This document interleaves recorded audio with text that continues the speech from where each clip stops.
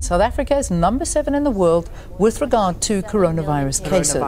That have been confirmed by the health department now in South Africa. 517 infections. New COVID-19 cases. 17 more South Africans have succumbed to the coronavirus. Cases in our country. The storm is upon us.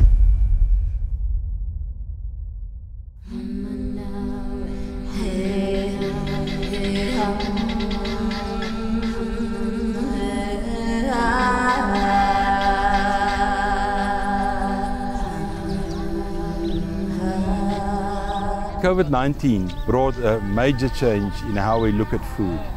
The concept of food security used to be a very theoretical, almost an academic concept.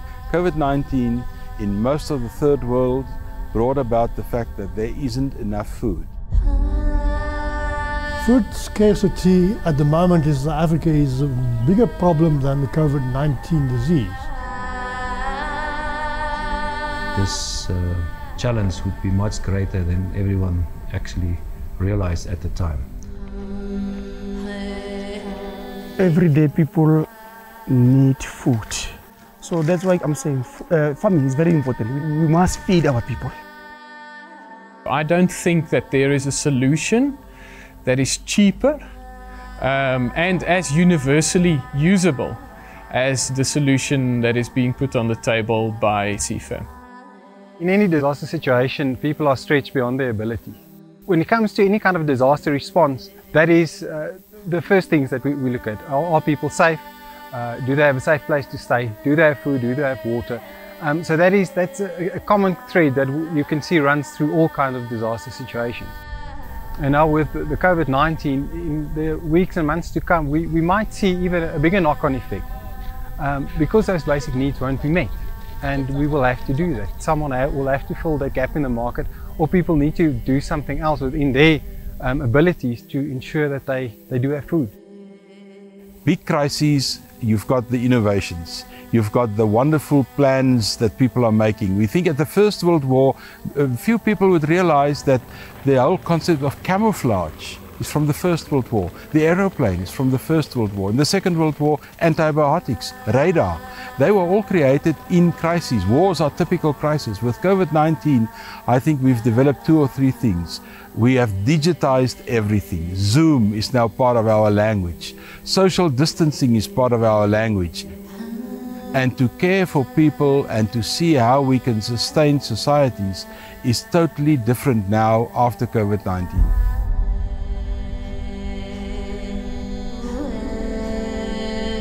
Probably what we need to do is we need to find a product that is as affordable as possible and also that needs as little added to it as possible. We basically had only one place where we could go to find that product and that was at CFAM.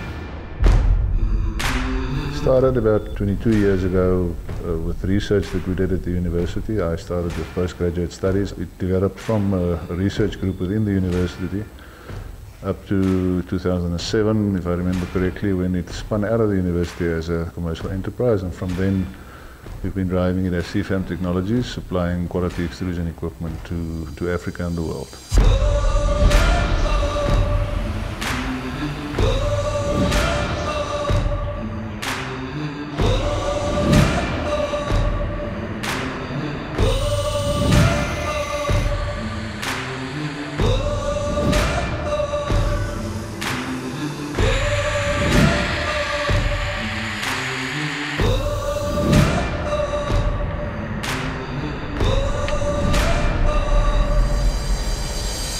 Dreamt this would be the end result.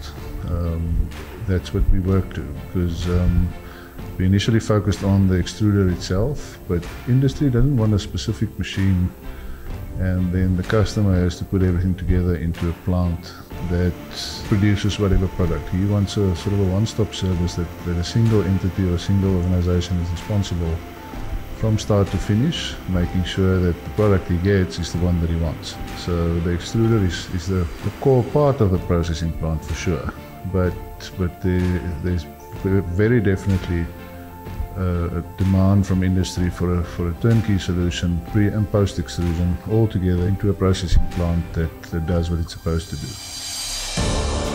CFAM Technologies manufactures the equipment itself and also the processing equipment that goes with it. So the business starts with the manufacturing of the equipment that you're going to need at the end of the day for you to be able to produce a final product that would be ready to eat that uses less energy as well as less resources as well. We believe that, that we are at the beginning of a, of, a, of a very good growth curve within Africa specifically. It's important to understand that it, Africa is a completely different scenario to Europe or the States. In the sense, it's difficult to find skilled people in Africa.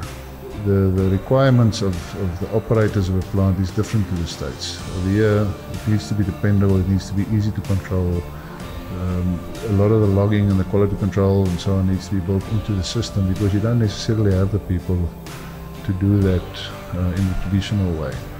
Which means the whole philosophy on how you design a plant, I believe, is different in, in Africa compared to to the States or to Europe.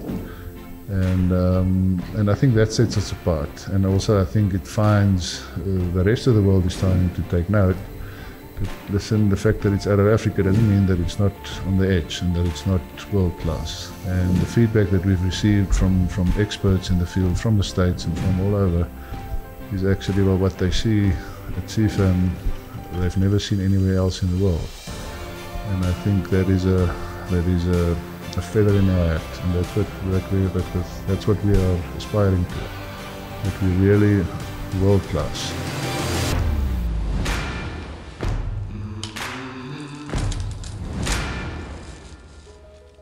The extrusion sustainability circle basically encompasses all the aspects of the whole industry around extrusion. So first of all, we sit with the natural resources, the grains that's being produced on the farm. Now for that grains to grow, we're getting the energy from the sun. So the sun effectively supplying us with the energy for the plants to grow. From there, that energy in the plant then goes to the processing plant where we supply the grains and then it is processed and beneficiated into a more valuable product. The other reason also why we need to process those products is the reason because we as humans need to eat cooked food. We cannot digest uncooked grains and pulses. From the, the, processing plant, we're sitting now with a value added product which is then distributed through the network to the end consumer. So that is the whole process then effectively from energy flowing from the sun all the way into the grains, to the processing plant, through the distribution channel, to the food that in the end we eat. And we eat the food to get energy. So that's the energy flow. Now going backwards uh, across that flow is the money flow stream. So that's the money that the end user pay to the distributor. The distributor pays to the processing plant and the processing plant buy the food once again, the raw materials from the farmer. And that creates that whole sustainability circle, which then just goes on and on. And with the sun supplying all the renewable energy to the system, that creates us then that sustainability circle which can grow and grow and become stronger and stronger. And that is also why a sustainability circle and a way looking at extrusion in overall can become a very important player in the economic revitalization of the developing world after COVID-19. Farming is all about management and the right management.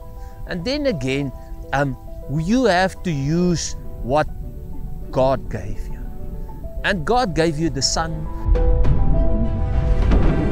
God gave you water and the soil.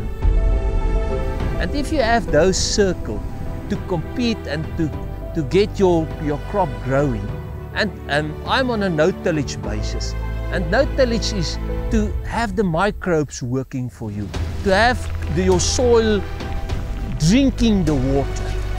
Uh, so it's, it's, a, it's, a, it's a new technique that started off in Argentina and I think it's, it's penetrating the whole world. And Africa is the perfect place because we have the best soils, we have good water as well. So we must just learn how to use this God-given soil, water and sun to, to create outcomes.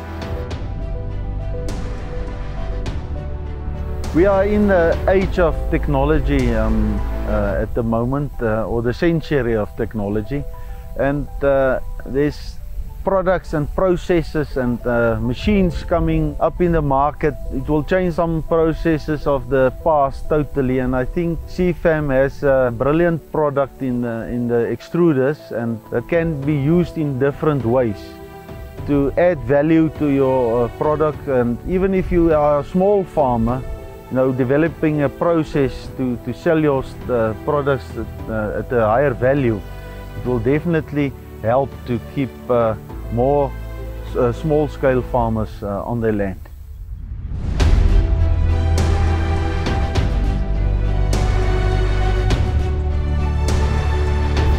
Management is very, very important.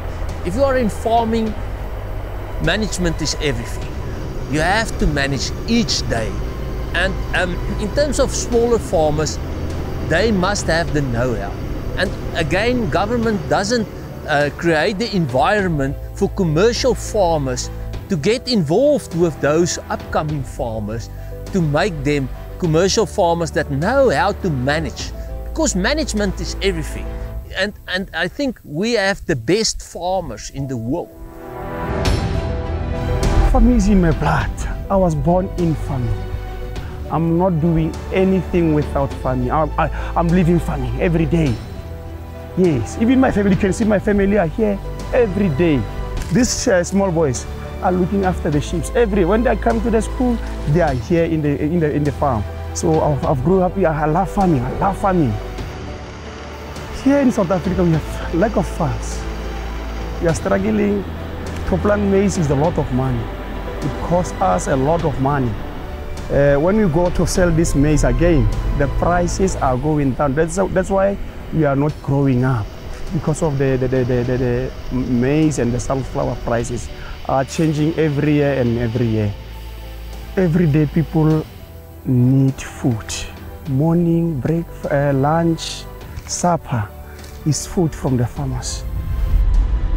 We can feed our uh, communities with our own resources. So that's why I'm saying uh, farming is very important. We, we must feed our people.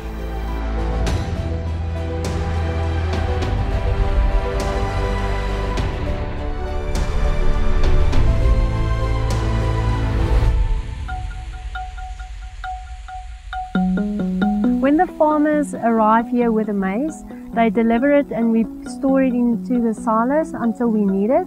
And then we draw it from the silos and we actually take it to our bin where we are going to hammer mill uh, the maize and as soon as we have hammer milled the maize at this stage we get the fine maize milled here uh, which is still in a very raw form. And then we take it from the fine maize we take it to our extrusion process where we are going to cook it. So as soon as we take it from our milling phase, we take it to this holding bin and we add it to the holding bin and after we've added it here, it goes to our extrusion process and in this phase, we actually cook it in 30 seconds. In the extrusion phase, we actually get the final product out that looks like small cooked pellets and then we take it through our blowing system so when it uh, arrives at our counterflow dryer, we blow through air through it in order to reduce the moisture to go to the hammer mill. And as soon as it's gone to the hammer mill, it goes to our mixing station. Okay, so when the product is milled, it goes into the bin. So at this phase, we sit with extruded cooked maize. So we went from, from the farmer going through this whole process and ending up here with the extruded cooked maize. So in this bin we have the sugar which is added and then we add it to our mixing bin. So in this case you get the extruded cooked maize, you get the sugar and at our microfeeder you get the vitamins and minerals, your flavoring and your skim milk powder which is mixed together and then dropped and going to the packaging. So at this phase when the porridge is all mixed together, we take our polyprop bags, we bag the porridge and then we stitch it. And after stitching it, we take it onto the conveyor and onto a pallet and pack it and palletize it. CFAM was established as a spin-off company of the NWU in 2007 to commercialize and further develop the technology. One of the products manufactured using the technology is a maize porridge which contains sufficient nutrients to meet the recommended dietary allowance. All porridges are also fortified with essential vitamins, minerals and immune boosters. When you develop a product, our aim is really to provide a nutritious, affordable product at the end of the day. And in this case, especially the porridge that we developed for the COVID 19 crisis um, and through the hunger stages that we have and poverty, we really try to make our focus on the, on the micronutrients as well that is essential to strengthen your immune system. That's why we developed this porridge in order to have 17 essential vitamins and minerals in it we added a lot of vitamin A's, B's, C's, D's and E's and we also added um, minerals, in this case iron and zinc and selenium that really contributes to taste and um, uh, smell at the end of the day and strengthening your immune system.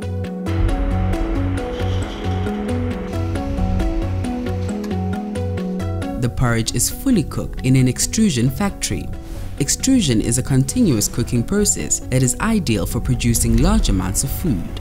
The high cooking temperatures and pressures ensure that the food produced is sterile and thus safe. The CFAM factory has the capacity to produce 240,000 meals per day. There are more than 60 extruders operating in Southern Africa and plants are being erected in Canada, Northern Ireland and Pakistan. The prepared porridges are packed in 5 kg polypropylene bags with plastic liners for improved food safety and longer shelf life. The open edges of the bags are folded and then stitched for enhanced protection against insect infestation. A single family bag will be enough to feed a family of 5 for a week. The product will last for 6 months if the bag remains sealed. For a meal of 250 grams, mix 50 gram dry porridge and 200 ml cold water or milk. The cost of such a meal is only 1 rand and no additional cooking is needed. The 5 kilogram family bags are then loaded and transported directly to the consumer.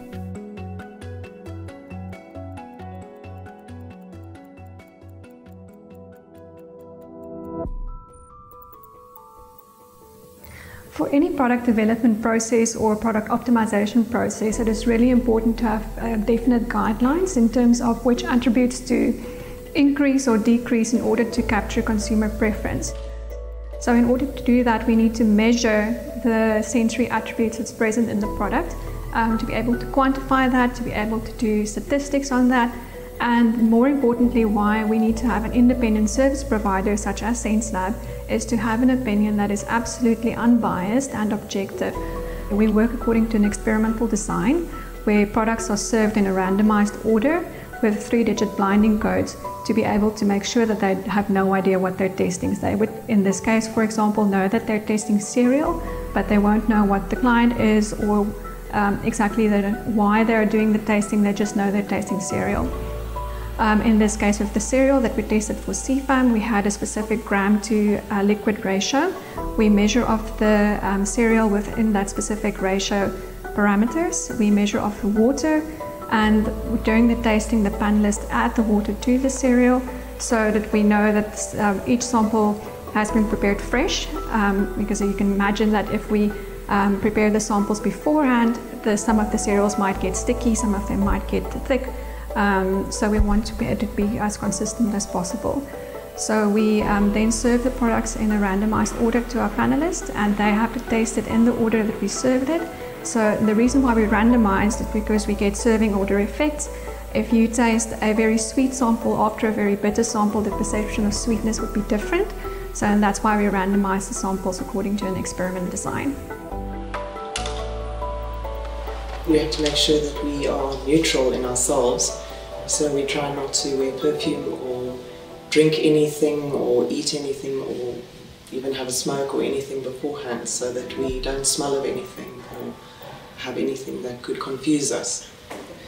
I know you know that it's it's nice, but what else do you taste? Is it sweet? Is it very sweet? Does it taste like mint? Try to think about what you're tasting. What exactly does it smell like? What does it make you think of? Those kinds of things. First appearance, you look at the color and the, the grain size. And when you mix it with the water or milk, and you have to have a, a vocabulary library to describe what you evaluate.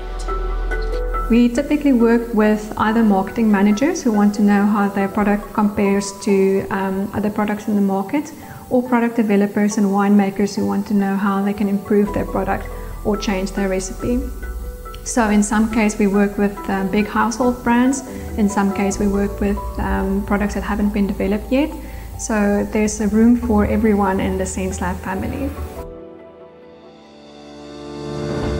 Santi Brits uh, from the municipalities is a councillor and Hans Juri Moelman, also a councillor, um, contacted me and, and, said, is it possible that the, the Chamber of Commerce can get involved because there's a huge humanitarian um, challenge coming our way.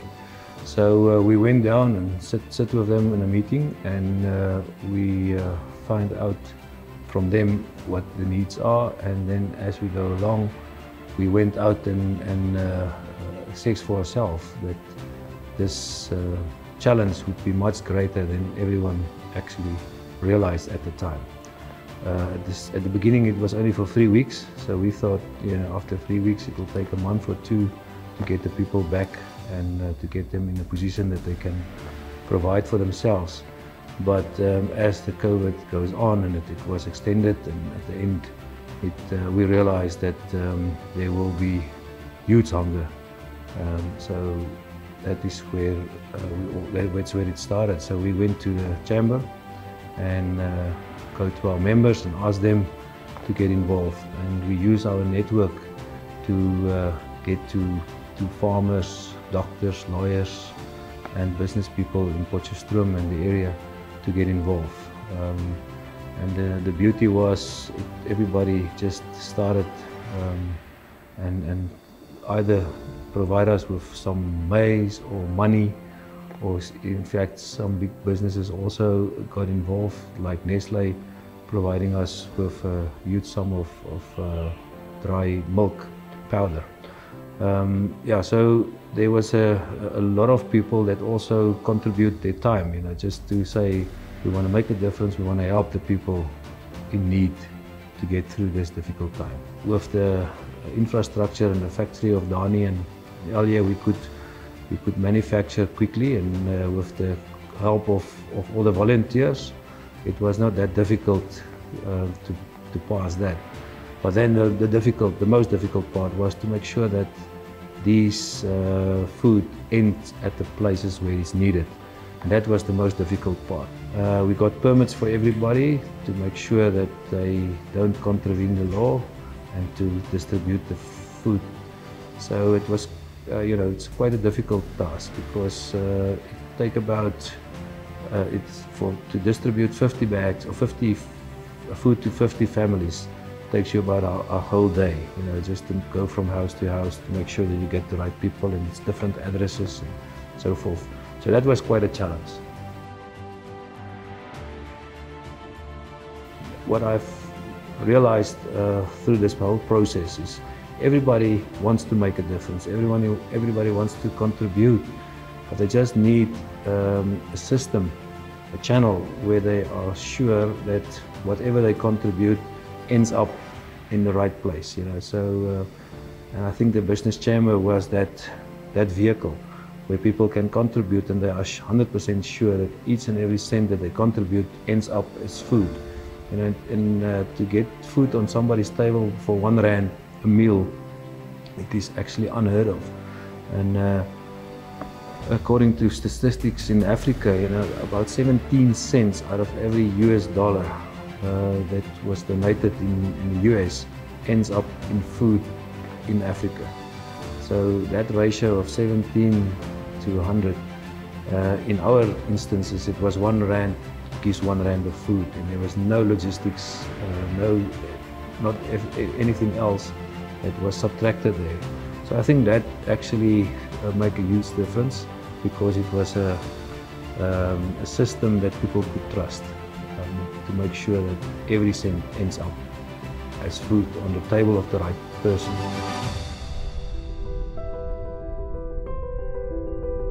CFAM has also developed a wonderful way of dispensing the porridge to the consumer by means of their food ATM.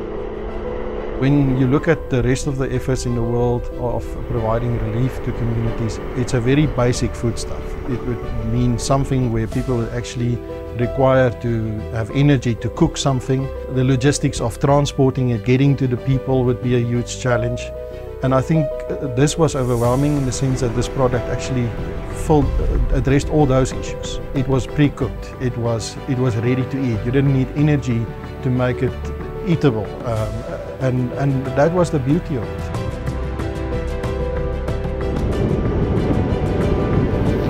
Kruger National Park is situated in a very poor part of South Africa. Um, we've got about 2 million to 3 million people on our boundary and uh, they are really very poor people.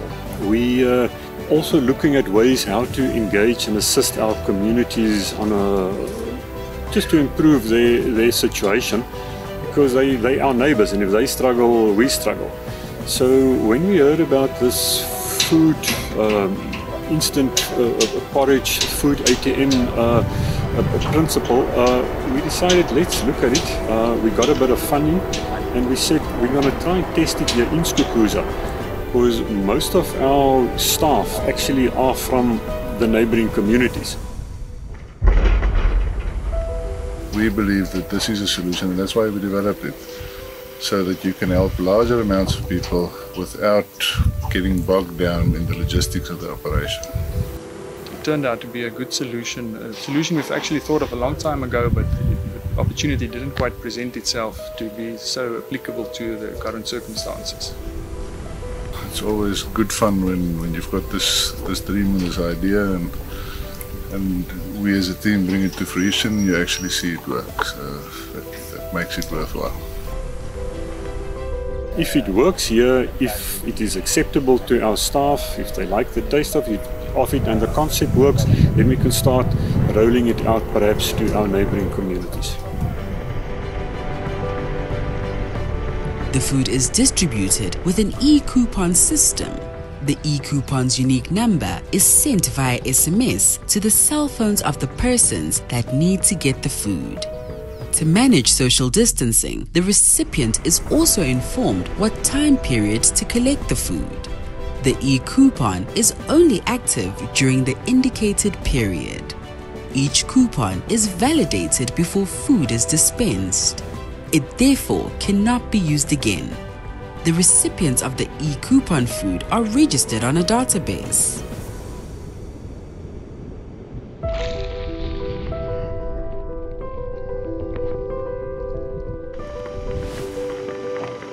The immediate need is for governments, corporates, and NGOs to get involved to establish food oases for communities in need. The food bank uses a rental business model. The food is refilled and topped up in bulk. The long-term solution is to establish regional extrusion processing plants that uses locally produced agricultural products to produce the foods. This will stimulate local economic development that will establish once again sustainable communities. Here we have a, a very good engineered piece of metal. But how can we utilize that so that we can solve problems? And then at that stage, I mean, 20 years ago, we didn't know about the crisis that the pandemic would have brought.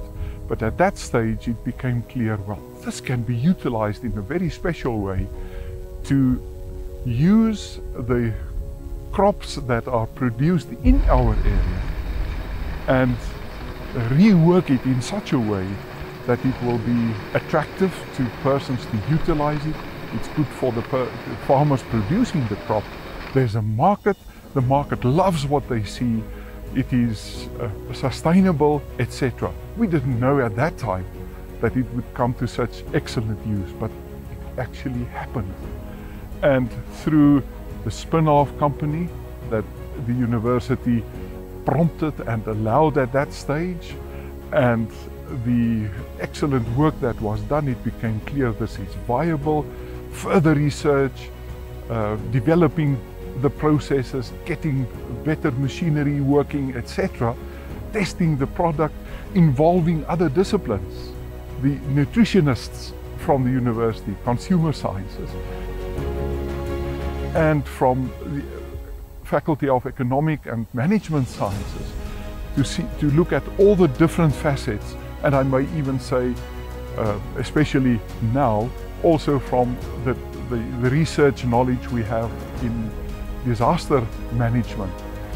Bring all of that together, and so it could happen that uh, when the announcement came by our state president, it was less than two weeks.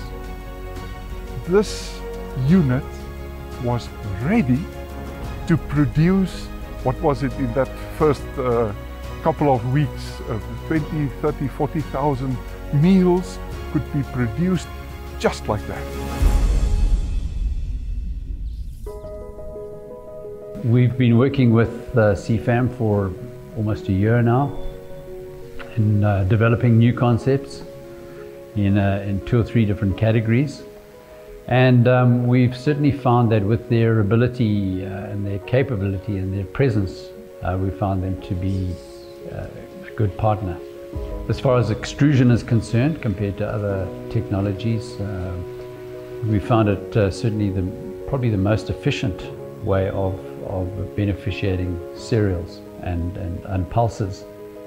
The equipment that we look at from CFAM can develop for us uh, seven different categories, from baby baby food to to uh, family cereals to snack bars to soya chunks to many many categories. The great thing about that is you have one piece of equipment that that um, is multifunctional, if you like. We delivered food as far afield as Elandsbaai. We delivered food in De Wetsdorp in the Eastern Free State, in Vicksburg, and, and places like that. That is now apart from the food delivered locally in Potchefstroom, but the footprint of CFAM really became a South African footprint, and there's a lot of satisfaction in doing this as a project, knowing you can add to people's very, very dire needs in this crisis. I don't think that there is a solution that is cheaper um, and as universally usable as the solution that is being put on the table by CFAM now. And the fact that it uses basic foodstuffs, um, which are available all over Africa, I think just makes it the ideal process to work with.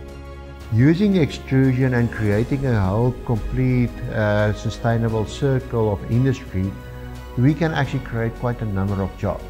So in a value chain that we're creating by doing this, we will create jobs on the farms, we create jobs in the processing plant where people do uh, work in the, far, uh, in the processing plants, and then of course in the whole distribution channel.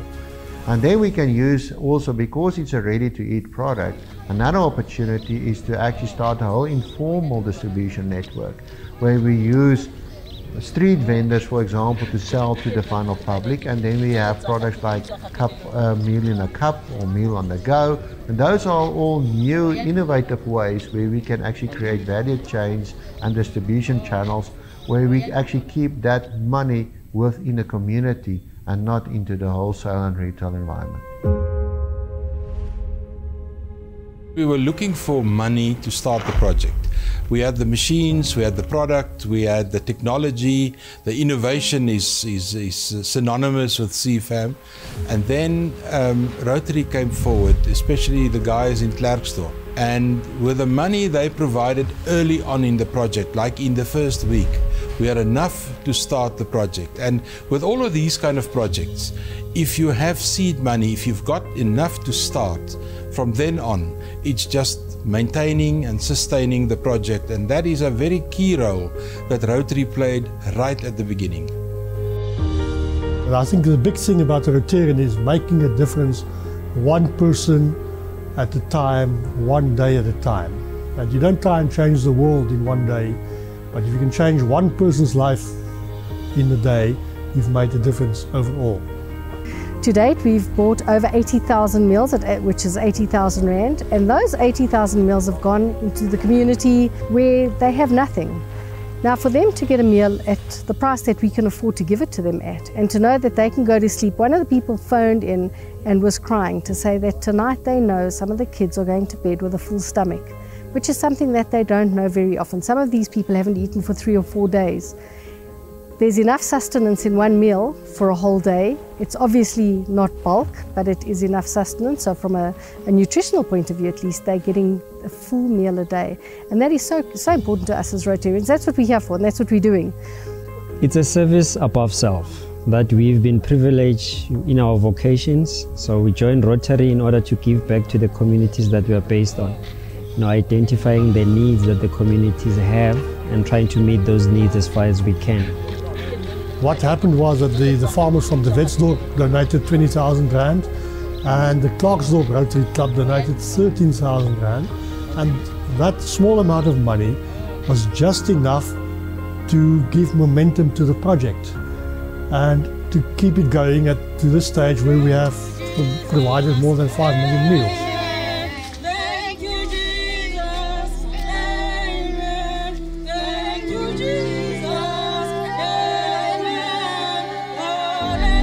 It's a priceless gesture to see a smile on somebody who receives a meal. Sometimes we encounter people that are saying, I didn't know where my next meal will come from. So just hearing that, it, it's a priceless feeling. You, I can't describe it. I want to say thank you, thank you very much. They are God sent. you, I'm so happy for them, and I keep, I like them to keep on doing their good work.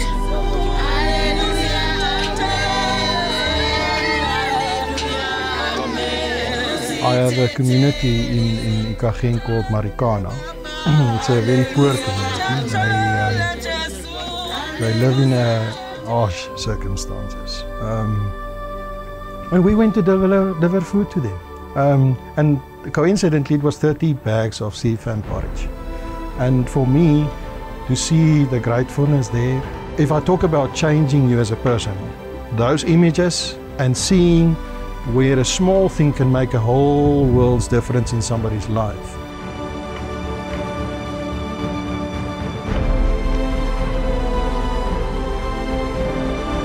It, it, encourages you to do more. I think it, it's something you would like to spread to other people, to also have that compassion for other people, to do the small thing, not the big thing. Everybody wants to change the world, but to do the small thing for that one person that can really make a difference in their lives. Not a big thing, just a small thing. And it can do a whole lot for a small family like There's very little in this world that you can do that means more both to other people and to yourself than giving back into a community and especially to people who have urgent needs that need to be met. Every person that you make a difference in their lives makes a difference to us. The joy on somebody's face, it's something you can't buy with money. It, is just, it just provides a sense of dignity and, and that to me is a very self-fulfilling kind of thing. Many people have lost their jobs, many people had no incomes, and a lot of kids that also dependent on the feeding schemes at schools also didn't have food for the day. So for CFAM to take it upon themselves to help um, those communities um, was for me very empowering and it is also something that is a, sentiment to actually the uh, uh, uh, principles and values of, of CFAM technologies.